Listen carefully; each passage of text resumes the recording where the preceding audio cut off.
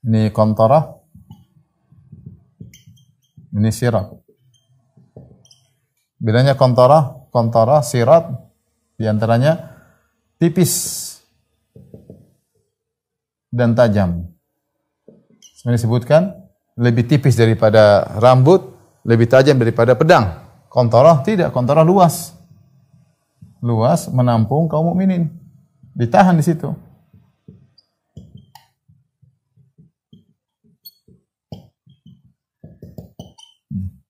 Perbedaan yang kedua, sirat diletakkan di atas neraka.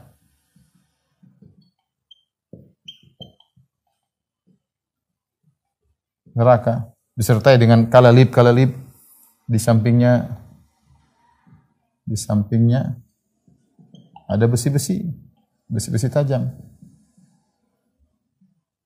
Adapun kontara diletakkan dalam hadis bainal jannah wan nar. Kontara bainal jannah wan nar. Kontara terletak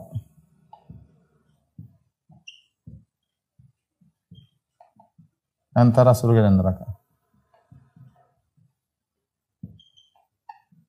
Allah alam di mana kita nggak tahu posisinya di mana karena kita nggak bisa menghayalkan tentang posisi surga, posisi neraka yang jelas dia bukan di atas neraka tapi dia terletak antara surga dan neraka. Apakah letaknya di sini apa daerah lain? Wallahu a'lam bisawab. Sama seperti orang tanya Ustaz, Ashabul A'raf disebutkan wa alal a'rafi rijalun ya'rifuna kullan bisimahum. Langsung dalam surat Al-A'raf ada a'raf. A'raf itu orang-orang letakkan tempat yang tinggi antara surga dan neraka sehingga dia bisa bicara sama penghuni surga, dia bisa bicara dengan penghuni neraka. Di mana posisinya Allah alam.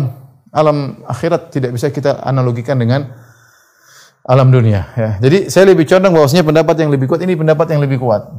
Lebih kuat.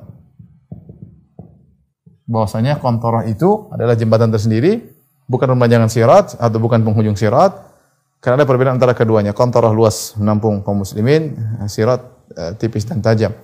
Kemudian tadi kontorah antara surga dan neraka adapun sirat tidak ya.